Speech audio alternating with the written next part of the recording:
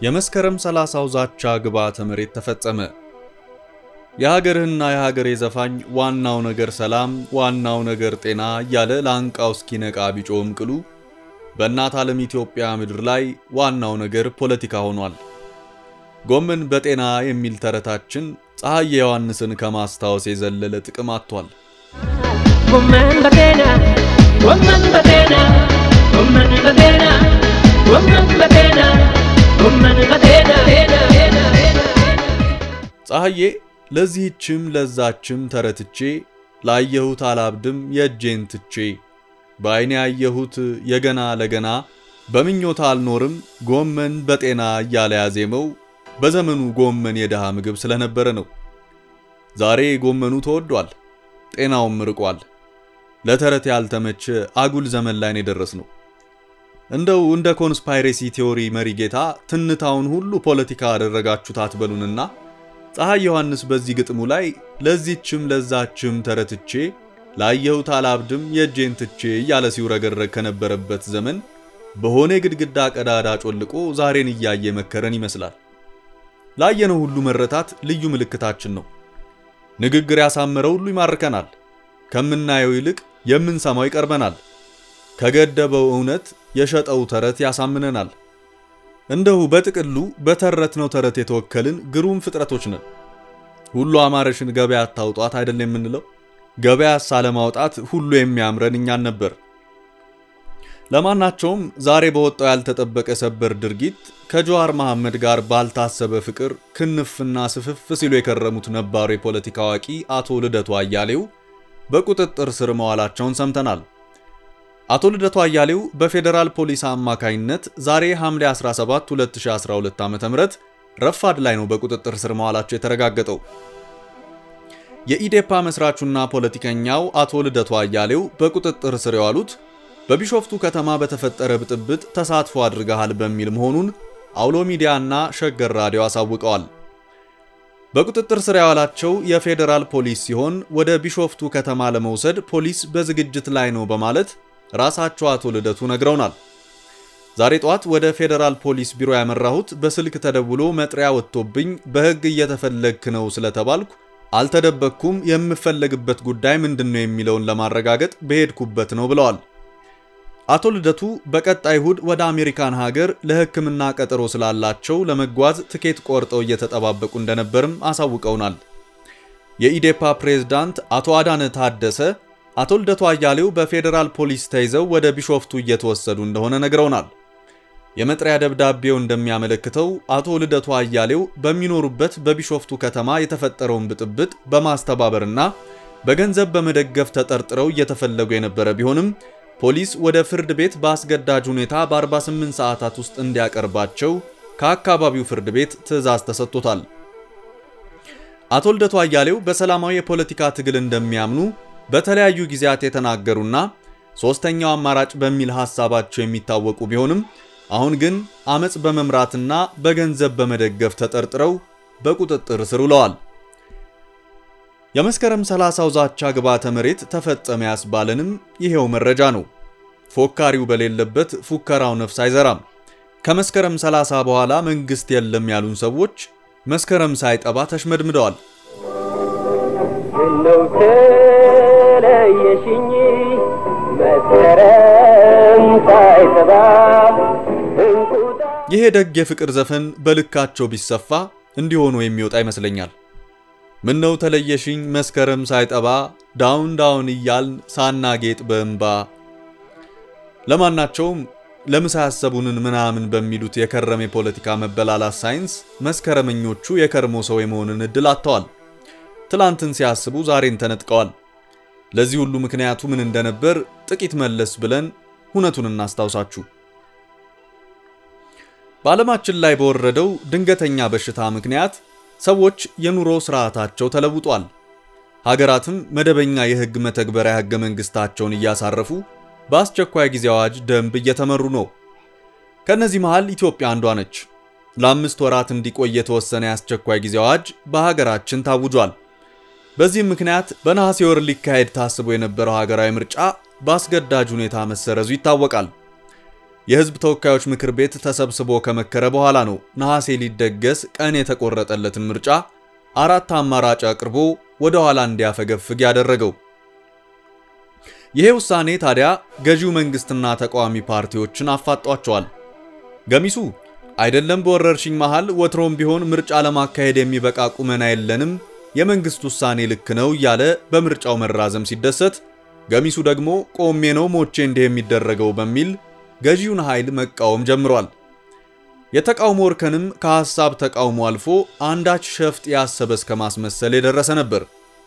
ጎራ ለይተው ለሁለት ከተከፈሉ ፓርቲዎች መሃል ግንባር ቀደሞቹን ብንጠቅስ አብን ከመንግስት ጎን ሲቆም የጀዋር ኦፌኮና የልደቱ አያሌው አብሮነት ለአንድነትና ለዲሞክራሲ ፓርቲዎች ከመንግስት ተቃርነው ቆመዋል። ምርጫው ይደረግ፣ ምርጫው ይዘግይና ምርጫው ይዘግይ ግን እስከዛ የሚያቆየን የሽግግር መንግስት ይቋቋም የሚሉት በፖለቲካ ፓርቲዎቹ መሃል መነታረኪያ የሆነው ሐሳብ ነው። ህዝባዊ ወያኔ ሓርነት ትግራይ በበላይነት የምትዘውረው ቡድን በበኩሉ የወይዘሪት ብርቱካን ሚደቅሳን ምክርና የህዝብ ተወካዮች ምክር ቤቱን ውሳኔ ንቆ የግሉን ምርጫ የሚያደርግበትን ቀን ቆርጦ ለድግሱ በርበሬ መቀንጠስ ጀምሯል። ይህም ህዝብ ግራ ሲያጋባ የሰነበተ ያሳለፍነው ወር መሪ ርዕሰ ጉዳይ ነበር።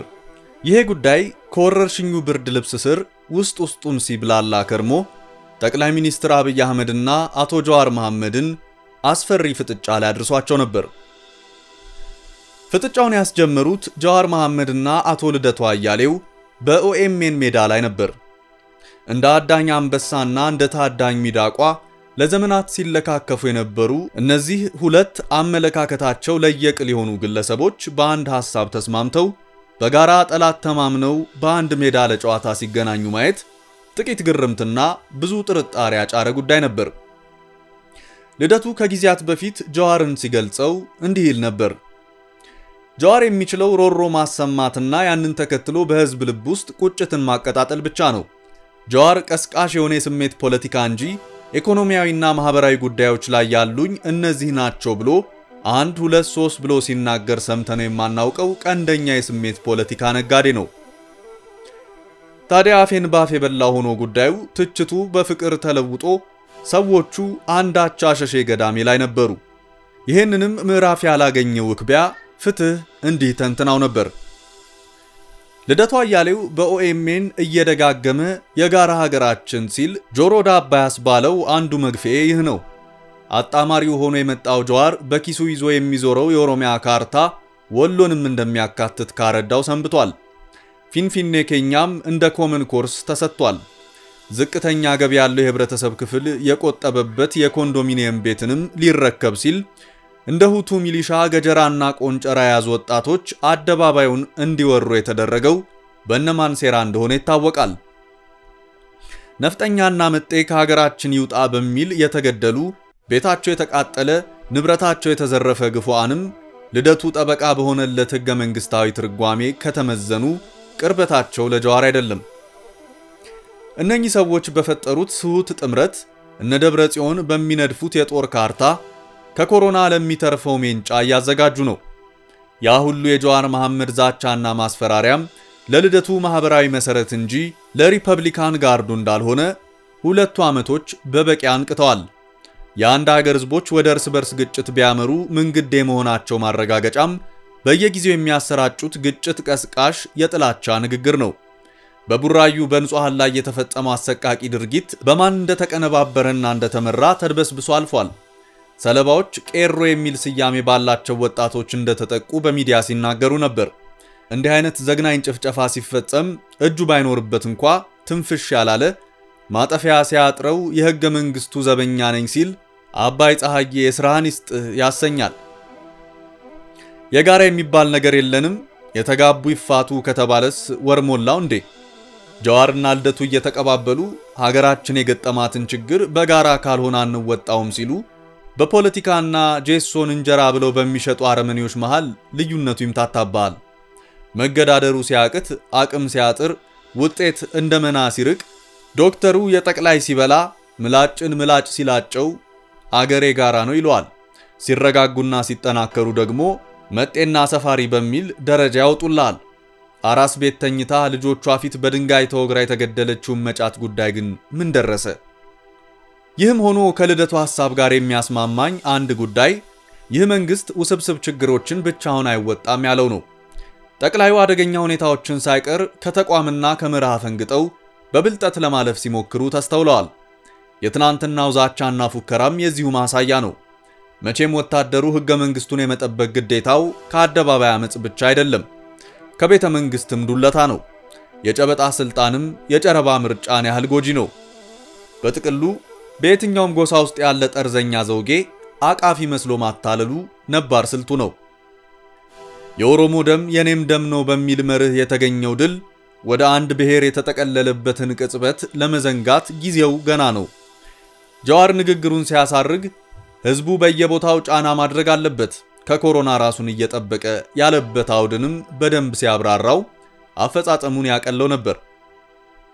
ጎዳና ላይ ስንወጣ ሜንጫችንን በጓንት ይዘን መንገድ የምንዘጋበትን ግንዴላና ድንጋይ በሳኒታይዘር አጥበን ርቀታችንን ጠብቀን አፍና አፍንጫችንን በማስክ ሸፍነን down down አብይ አስቂኝ ነው። እንግዲህ ለመስከረም 30 የታሰበው ድግስ ይሄ ነበር። ዛሬ ዛቻው ግብዓተ መሬቱ በይፋ ተፈጽሟል። ማልቀስ ካለብን ለእነርሱ እንዲህ እናለቅሳለን። ምነው ተለየሽኝ መስከረም ሳይጠባ down down እያልን ሳናጌጥ በእንባ ያውም በንጹሐን እንባ ያውም በእናት እንባ ያውም በሕፃናት እንባ በእነዚህ ምስኪናት እንባ ሳታጌጡ ወህኒ ይቀድሟቸዋል። እንቁጣጣሽ እያል ሳናጌጥ በአበባ ሰላምና ፍቅር በሀገራችን ምድር ላይ ይሁን። ኢትዮጵያ በልጆቿ ጥረት ተከብራ ለዘላለም ትኑር። ዛሬ ከሆነብን ይልቅ ነገ የሚሆንልን ይናፍቀናል። ሁሉ በጎ ይሆናል። በሌላ እስክንገናኝ በጤና ኑሩልን።